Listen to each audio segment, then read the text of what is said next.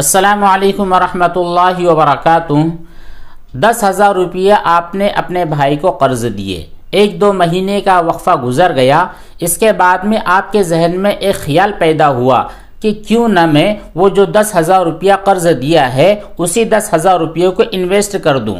यानी अपने भाई से ये कह दूँ कि भाई, वो दस हज़ार रुपया जो मैंने आपको कर्ज दिए थे, वो मुझको वापस ना करें, बल्कि इसको अपने कारोबार में लगा ले। पैसा मेरा होगा, मेहनत आपकी होगी। तो ये सूरत सही होगी या सूरत दुरुस्त नहीं होगी? क्योंकि आप तो अच्छी तरह जानते हैं कि एक बंदे का माल होता है और दूसरे की मेहनत होती है तो इस तरह का कारोबार बिल्कुल दुरुस्त होता है। लेकिन यहाँ पर जो बात आई है, यहाँ पर आप पैसा दे नहीं रहे हो, बल्कि पहले से आप पैसा दे चुके हो कर्ज के तौर पर।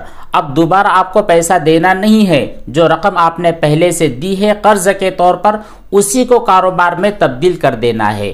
तो ये सूरत शरी एतबार से दुरुस्त नहीं होंगी। तो इसकी वजह यह है कि ये जो कारोबार की शक्ल होती है, जिसका नाम मुजारबत होता है, एक आदमी का पैसा होगा, रकम होगी और दूसरे आदमी की मेहनत होगी। तो इसमें कुल पाँच चीज़ें होनी ज़रूरी हैं। पहली शर्त यह है कि ये दो लोग जो मुजारबत का मामला कर रहे हैं, पार्टनरशिप का मामला कर रहे हैं, ये दोनों आकिल हो, बालिग हो, बच्चे ना हो और ग़ुलाम ना हो। दूसरी शर्त यह है कि जो सरमाया और रुपया इन्वेस्ट किया जा रहा है, ये रकम की सूरत में हो, पैसे की सूरत में हो, कोई चीज़ ना हो।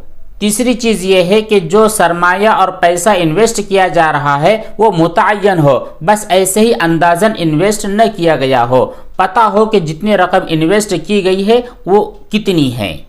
चौथी शर्त यह है कि सरमाया आयन हो, दैन न हो। यानी जो पैसा इन्वेस्ट किया जा रहा है, ये कैश हो, मौजूद हो, कर्ज न हो। और यहाँ पर जो सूरत पाई जा रही है, इस जो मसले के अंदर जो बात बयान की गई है, यहाँ पर कर्ज है, जो पैसा इन्वेस्ट किया जा रहा है, ये इन्वेस्ट किया जाने वाला पैसा मौजूद नहीं है, बल्कि ये कर्ज है। इसलिए ये वाली सूरत दुरुस्त नहीं होती है। इसलिए ये जो सूरत बतलाई गई है कि अगर आपके पास पैसा है, लेकिन वो आपने कर्ज दे रखा है और उसे कर्ज दी हुई रकम को आप इन्वेस्ट करना चाहते हैं तो ये सूरत दुरुस्त नहीं है। हाँ आप ये कर सकते हैं कि पहले कर्ज उसूल कर ले। जब कर्ज आपके पास आ जाए, उसके बाद में आप इस रकम को इन्वेस्ट कर सकते हैं, कोई हरज नहीं।